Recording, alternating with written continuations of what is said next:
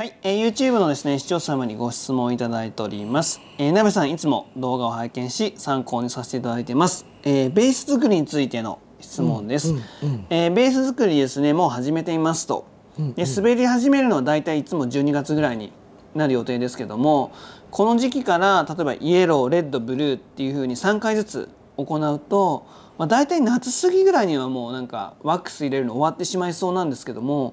早くやってしまってもシーズンインした時には良い状態をキープできているんでしょうかっていうふうに疑問をいただいています。ちなみにワックスはトコのワックスを使っているっていう形だそうです。こちらについてですね、なべさんよろしくお願いします、はい、じゃあお願いします。します。あのそうですよね。あのそのワックスの表面が例えば酸化するっていうのはあの問題ないと思うので、はい、あのもちろん厚塗りしてシーズンまで保管するじゃないですか。はいあのまあ、それをまあ剥がしていただければ中は潤いがちゃんとありますので、はい、まあ、表面が酸化するぐらいで済む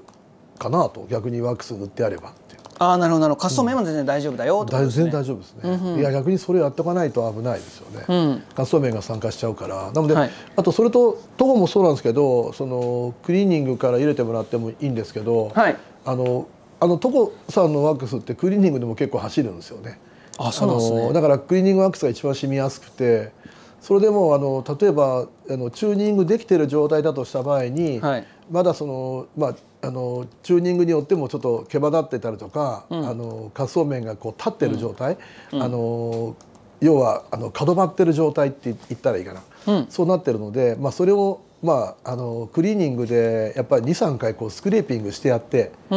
でよくあの角張ったその今のスクレーパーを使って、要は表面を削り取るような感じで、うん、えー、っともうワックスを取るっていうよりも表面を慣らしていくような状態、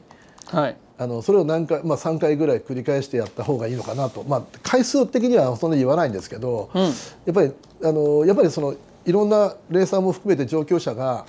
夏の間にこう、ワックスを入れる入れるって言ってるのは入れるっていうよりも滑走面をこうあの削っていくっていうか、うん、表面をこう毛羽を取っていくスクレーパーで、はい、そのことが一番重要だと思うんですよね、うん、そんなにワックスを染み込ませるって言って場合はそのサーモとか、うんうん、そのまあそれ夏だったらその、うん、熱を利用してやっていくっていうことがうまくできればいいんですけど、これすごくリスクもしょわなくちゃいけなくてあのやっぱりその車の中に置いててパンクしちゃう場合もあるし板が、うん。うん、60度になったらそれは板も危ないですから。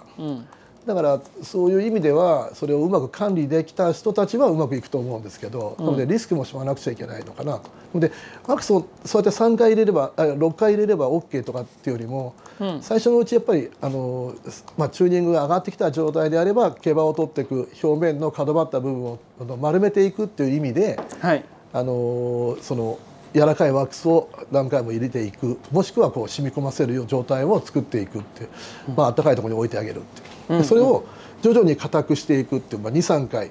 えーと、クリーニングからイエローみたいなものをとこやったら入れてもらって、うんうん、まあ、それで45回入れてもらって、うん、であとはその硬め硬いワックスを順番に入れていくような感じを取ればいいかなというふうに思うんですよ。うんうん、まあ、それ熱がある時夏の、はい、真夏がこれから来ますので、はいはい、それをうまく使っていただいたりとかあとはそのチューニング、まあ、チューナップショップの方でサーモン扱って見えるところで、はい、サーモンをしていただいてそのままの状態でほっとけばいいっていう、うんうん、あのマックスかかった状態で。厚めの状態で。でそれをシーズンインした時に、はい、前の日に剥がしてもらって自分で明日のワックスっていうのを、うん、あのトップワックスを想像してもらって塗ればいいっていう。なのでまあ固めにしていく意味は前もお話ししたようにあのある程度その中に染み込んだ状態あの、はい、栄養クリ栄養クリームが入った状態で、うん、上をパックするっていう状態を作っていくってことですよね。はい。うんうん、まあ、そうすればよっぽどそのなんだろうあの硬いワックスの上に上っ面でこうあの自分が滑る時のワックスが調整できるということですね。はいはいはい。あのまあそんな感じでやっていただければいいのかなと。うん、回数とかっていうよりもあの新しい滑走面であればそれを何回もスクレーピングして慣らしていくっていう。うんうん、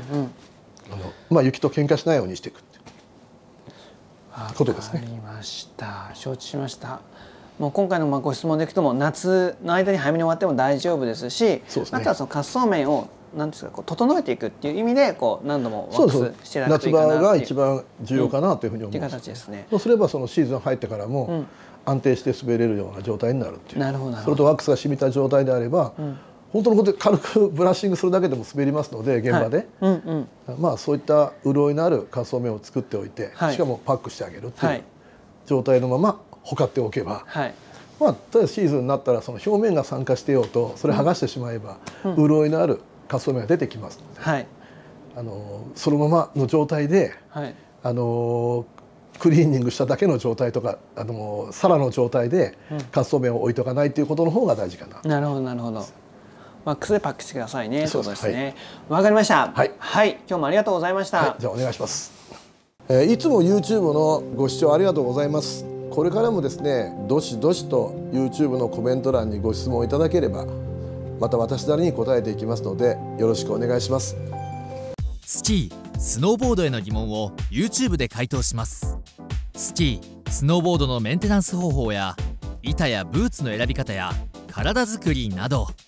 どんな些細なことでも気になることがありましたら YouTube のコメント欄に質問をお寄せください。今後も定期的に動画をアップしていきますのでぜひチャンネル登録をお願いします。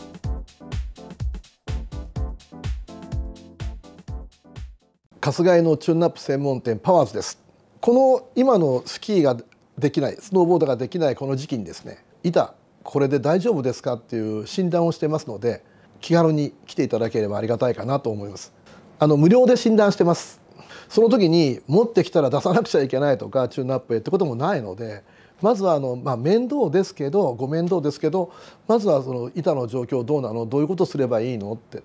で今自分が持ってるものであのこれはできるの？とかっていうことも含めてあの、まあ、持ってきて気軽に持ってきていただければありがたいかなと思います。